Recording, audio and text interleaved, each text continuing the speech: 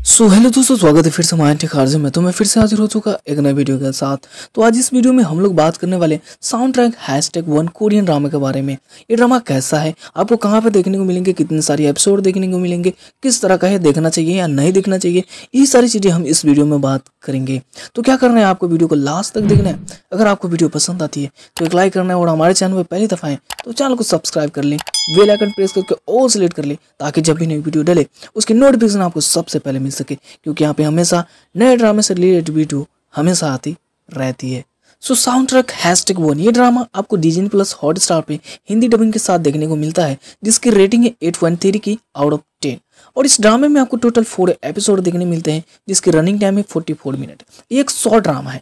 अब इस ड्रामे में कहानी आपको क्या देखने को मिले अगर बात की जाए इस ड्रामे में स्टोरी की तो इस ड्रामे में इस कहानी आपको देखने को मिलता है सिनबू और येंसु ये दोनों बचपन से ही बेस्ट फ्रेंड है। सिनबू एक फोटोग्राफर है और दूसरी तरफ़ अपनी ड्रामे की जो फीमेल लीड है, जिसका नाम है यूनसु वो एक लिरिसिस्ट है लेकिन सम ऑफ़ द रीजन उसके जो लिरिक्स है, उसमें उतना ज़्यादा फील नहीं होता, वो दर्द नहीं होता है, जिसकी वजह से उसकी जो लिरिक्स है, हमेशा रिजेक्ट कर दिया जाता है। अब इन सब चीज़ों में उसको मदद करने के लिए सिम्बू उसके साथ रहने आता है, क्योंकि उनसे उसको मतलब अपनी हेल्प करने के लिए बोलती है। तो उसके साथ में उसी के अपार्टमेंट में रहने के लिए जाता है।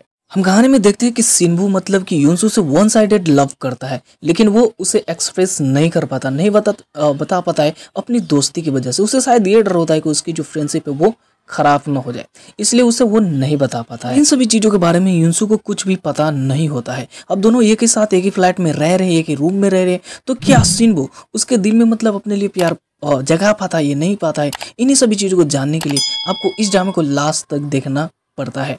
अब इस ड्रामे में आपको बहुत ही ज़बरदस्त फ्रेंड्स वाली बॉन्डिंग देखने को मिलेगा वन साइडेड लव देखने को मिलता है। मतलब वन साइडेड वाली जो फीलिंग होती है, वो देखने को मिलता है। किस तरह से दो दोस्त, ये मतलब कि प्यार में पड़ते हैं, ये सारी चीज़ें आपको देखने को मिलती है इस ड्रामे के अंदर। तो जरा ये बताओ मुझे कि मतलब किस किस के पास यहाँ पे, किस किस के पास मेल या फिर फीमेल फ्रेंड है, वो ज़रा हमें कमेंट करे। जरा हमें भी मतलब ज्ञान की आहुति हो। आते हैं मुद्दे पे। बात की जाए इस ड्रामे की डबिंग की तो डबिंग बहुत ही अच्छी है। भाई डिजनी प्लस हॉट स्टार की डबिंग ही तो डबिंग तो अच्छी होगी। डबिंग के लिए में मतलब आपको थोड़ा सा भी कहीं पर भी, ओ, क्या बोलते हैं ना, शिकायत करने का मौका नहीं मिलता है। अगर बात की जाए इसकी मतलब म्यूज़िक की, वो भी बहुत ही ज़बरदस्त है। और सिनेमेटोग्राफी से लेकर मतलब करेक्टर डेवलपमेंट से लेकर के फेस रिएक्शन से लेकर के, हर एक चीज़ बहुत ही परफेक्ट है।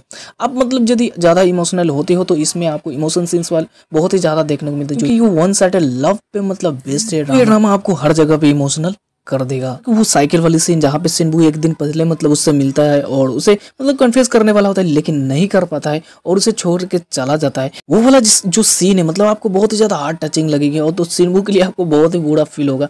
और वहाँ पे आप बहुत ही ज़्यादा इमोशनल हो जाओगे, जैसे कि मैं हो गया था। और अगर आपको एक रोमांटिक ड्रामा देखना पसंद है, जिसमें इस तरह के मतलब कि इमोशंस हो तो आपको इस ड्रामा को बिल्कुल भी मिस नहीं करना चाहिए। ये ड्रामा आपको डिजनी प्लस पे हिंदी डबिंग के साथ देखने को मिल जाएगा। तो जा करके चेकआउट कर सकते हो। अभी तक आपने इसको देखना स्टार्ट नहीं किया है। तो जाए प्लीज़ देखे। मैं मतलब हाईली रिकमेंड करूँगा कि इस ड्रामे को आपको बिल्कुल मिस नहीं करना और इस ड्रामे को देखने के बाद आप सोचोगे कि काश इसका और भी एपिसोड होता और भी ज़्यादा लंबा होता है ड्रामा तो देखने में बहुत ही मज़ा आता। सच में आप मिस करोगे। सो यही सारी चीज़ें हैं इस ड्रामे के अंदर जो कि आपको मतलब बहुत ही ज़्यादा कनेक्ट करता है। सो अभी के लिए बस इतना ही। मिलते हैं नेक्स्ट वीडियो में। तब तक के लिए बाय जय हिंद। टेक केयर अगर उनसु यही चाहती है तो।